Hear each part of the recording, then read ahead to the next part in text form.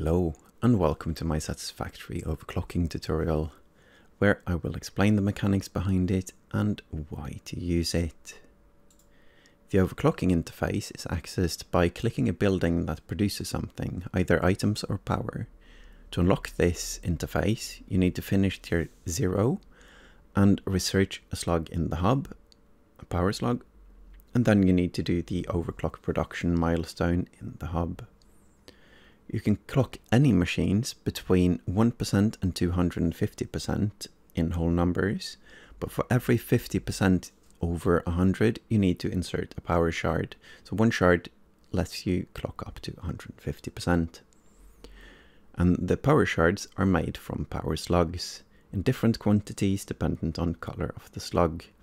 Green is 1, yellow is 2, and purple is 5 right now anyway. It's still early access and stuff is subject to change. There's two kinds of overclocking in the game, and that is item producing buildings and power producing buildings. I look at the power producing buildings first because it's a lot simpler and a lot less numbers involved. Power in Satisfactory is made by consuming items like leaves, biofuel or coal. Overclocking a power producing building simply makes them produce more power by spending more fuel.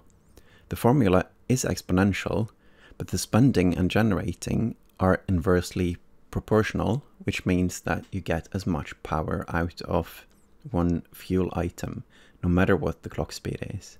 Or said more simply, underclocking makes the building slower, while overclocking makes it faster. Here's a spreadsheet of the numbers involved. I obtained the numbers from the wiki, and I'm going to put a link below to that site because it's been extremely useful.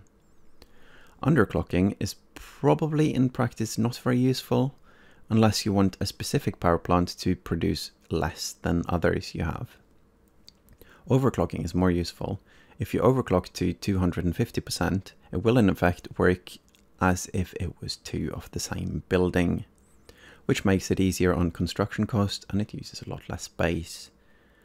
One thing to look at though is that for every 50% you raise a power generating building, the next 50% will have a smaller effect.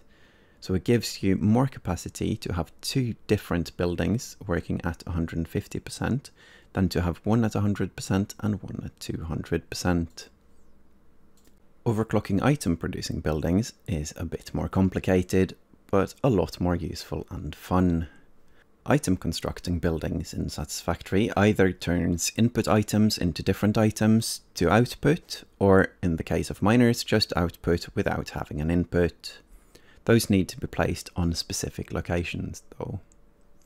The formula for overclocking item producing buildings is very simple when it comes to input and output. The production speed is the clock percent. So a building at 200% will work twice as fast as one that runs on 100% clock speed. The power formula, however, is exponential. So the clock speed will have a massive impact on the power consumption of the, of the building. So unlike the power producing buildings, the item producing buildings will spend more power per item made. And this is the important thing to notice, per item made. And that's what makes this interesting as well. But what does it mean in practice? It means that even if a building is only on half the time, it will save you power to slow it down to 50% and have it running at all times. It means that when a belt can't move enough of the output product, like when making copper cables or screws in the beginning, the uh, output of the machine is 90 items a minute, but the belts can only carry 60. You simply save power by turning down uh, the clock to 67%. You save a bit more than 21% of the power by doing this, or around one fifth. This also has a function when smelting. One smelter can take 30 items a minute, and one miner on a normal field mines 60 which means you can split the belt into two and use two smelters to smelt all the production. Those two smelters are at 100% in that scenario. With underclocking though, you can instead split it into three because you already have the splitter made As long as you have room for one more smelter, you can use three of them at 67% clock speed and save around one fifth of the power here as well. The only cost is one smelter and two belts. So even if it seems minor, the uh, cost of the smelter and belts is also extremely low. Alternatively, in the beginning, if you have only one smelter, uh, like you do, the first one you made, you can turn the miner down to 50% and save around one third of the power spent on that one. Early in the game, this might even save you some time, because you have to manually gather leaves and wood to fuel your power plants in the beginning. There is also overclocking on the production buildings. If you lack room or just want the convenience of not having to build another assembler for an item you want made, it's very convenient to just turn up the clock speed.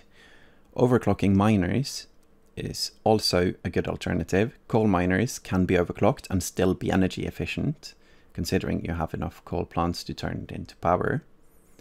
It's also convenient to use on other miners because mining spots are limited and a good mining spot can be worth exploiting to the fullest. In conclusion, low clock speed means lower power cost per item. High clock speed means higher power cost per item. With enough power, you can overclock anything and everything and not have drawback as long as you have enough power shards for instance, if you have access to a lot of coal and coal power plants. Before you get to that stage though, I would highly recommend you checking out KatherineOfSky's uh, tutorial on biomass and biofuel because in the beginning you will save so much of the struggle by setting up construction of the biomass and biofuel and that in combination with underclocking will make the early game so much smoother. I'm going to leave a link to that in the description below, so feel free to check out that as well. Thank you all for watching, and I hope you are having as much fun as I am with Satisfactory.